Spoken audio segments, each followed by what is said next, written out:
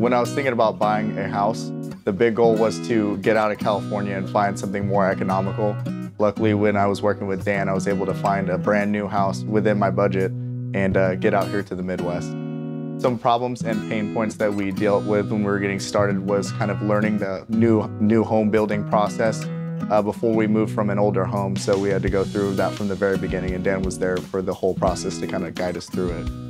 Dan helped us by coordinating back and forth with the builder and the builder's agent and making sure that things were met in time and in a timely manner. In the end, we were able to get in the house of our dreams with my wife and my two kids. If someone were to be looking to use an agent, I would definitely recommend Dan Edson. Uh, he's there through the whole experience and was able to kind of uh, make sure that everything went smoothly.